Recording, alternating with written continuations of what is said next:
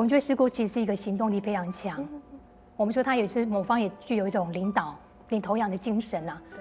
然后她想做什么，她就去做，包括做自己也好。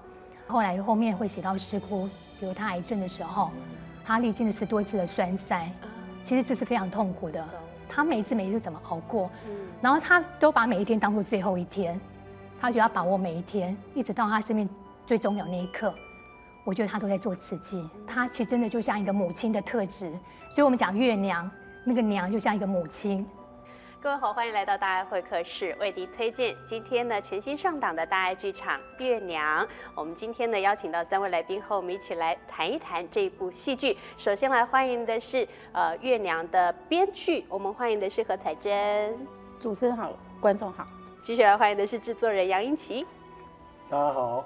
接下来呢，就要欢迎我们自己大爱台的戏剧二部经理张慧年慧宁姐。弟兄好，全球大爱观众你们好。嗯，今天看第一集的时候，我觉得好特别哦。哎，给那给那波片头曲。对，就是很。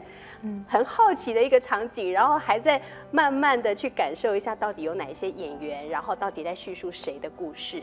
我想我们请我们的慧莲姐来跟我们分享一下这一出戏，来叙述我们在高雄地区一个非常资深的师姐薛月。呃，其实我们在做这个故事的时候，师姑已经往生了。嗯，我们是一百年的十一月出访，那师姑是那一年的一月农历的一月十五号元宵节往生。所以我们其实没有机会跟他碰到面。嗯，那其实我们也很感谢他的家人，两边的，比如娘家跟婆家这边。那还有就是，呃，比如他的邻居，像那个贵芬，好。那还有就是我们慈禧的法亲，嗯，好。其实很多啦，还有包括他那个渐渐美的同事。其实我们这个故事其实前前后采访不下四五十位。好，我们就怎么样去拼图啦？就要把师姑的整个人生，好，从小到他走。其实我们将近跨越半世纪以上，那我们觉得师姑其实是一个行动力非常强，我们说她也是某方也具有一种领导、领头羊的精神啊。对。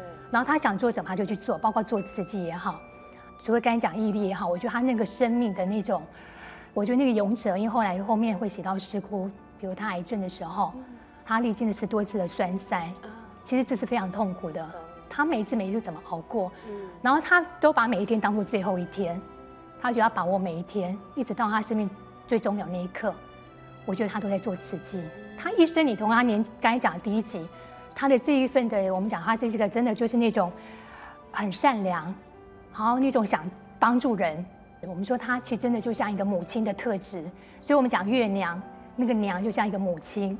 对，其实提到了。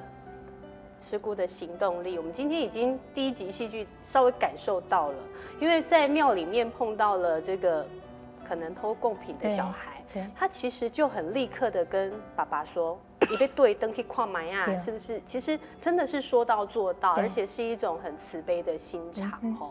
嗯，其实，在选择女主角的时候，嗯，需不需要透过你们自己的一个了解，对阿月师姑的个性上面？去特别找到一个可能在外形上面，或者是他们家世背景上面能够去很符合的人。呃，其实这次我们在选择演员的时候，我们经理太认真了。嗯。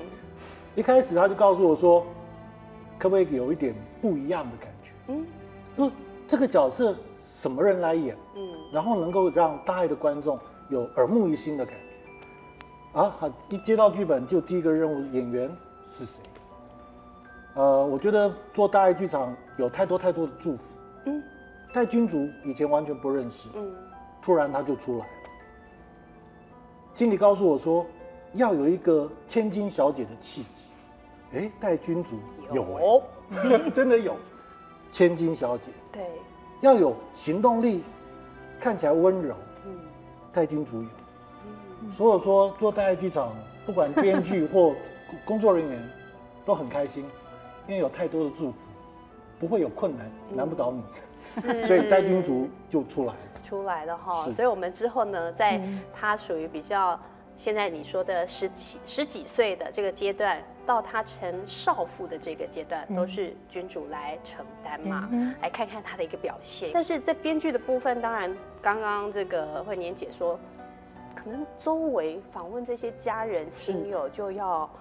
四五十，四五岁哦，然后要去用拼凑的方式，对你来讲会有什么样子的困难没有？因为编剧的工作，他就基本上就是要把人生最精彩的部分，嗯，好，然后把它把它做出来。那这个是我们必须要有的敏锐度。那我觉得是蛮好，是说因为这么多的师兄师姐，他们他们就是愿意要把他们所所知道的阿月，通通都告诉我，那表示。那个学月师姑呢，其实她结了非常多的好人缘，所以说其实非常多的人，不管是说是受她的感召的，或受她的祝福的，其实他们他们的心里面都有个阿月的形象，所以他们都告诉我了，所以我就回来，我就把它糅合在一起。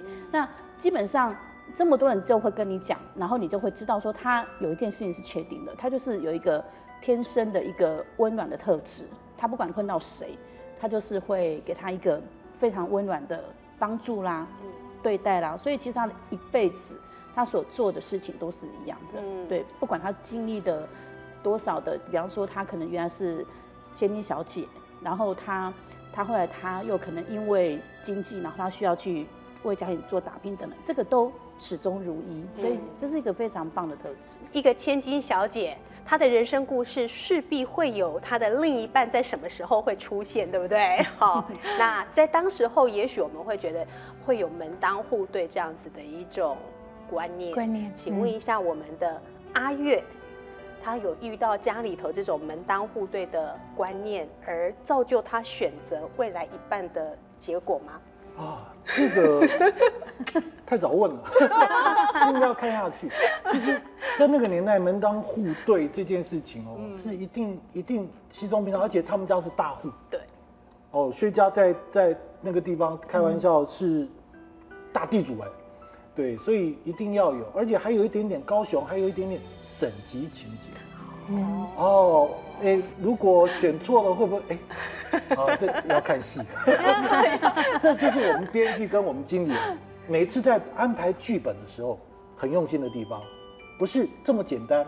你必须每天看才知道哦，原来他们的人生故事好精彩。其实这个戏它会最好看的，就是说，就是说他如何去成全他的爱情，但是成全爱情之后又如何去维护。那不管你维护或。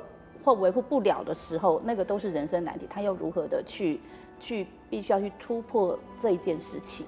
对，这个这个就是这个故事很好看的地方。所以刚才哦，怎么慧年姐有提到月娘月娘，其实有这个娘字，就是因为我们的阿月师姐有一个母亲的特质，再加上因为她的名字这个月，如果我们要讲到很温柔温暖的话，就像黑夜里面就一定会有一盏明亮的月在那边照亮黑暗。这个月娘的剧名，当然除了是她的名字之外，她又是怎么样去把它成就出来的？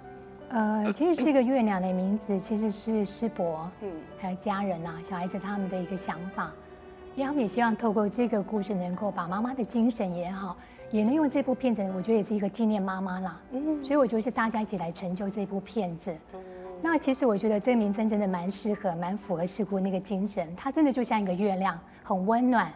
然后用于守护着他所一个每一个他想关心、想爱的人，所以我们说月亮月亮，永远他就是在那边守护，默默的守护着你。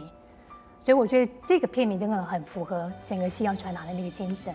对，这个我可以稍微再补充，就是观众在在剧中可以去看到，是说当他要守护别人的时候，他如何去守护他自己的心，永远都是很明朗、很温暖。其实这很不容易，因为我们看过太多的人。然后就是他可能刚还是温暖的，可是后来自己有了挫折，他就变阴暗了。